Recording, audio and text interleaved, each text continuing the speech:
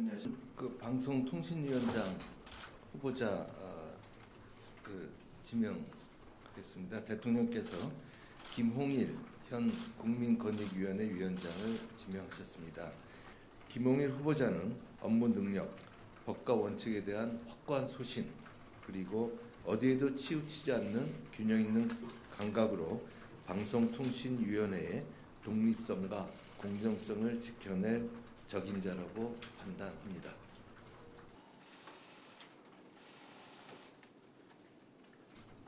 제가 절차를 거쳐서 임명이 된다면 국민에게 신뢰받고 사랑받는 공정한 그리고 독립적인 방송 통신이 되도록 최선을 다해서 노력하겠습니다.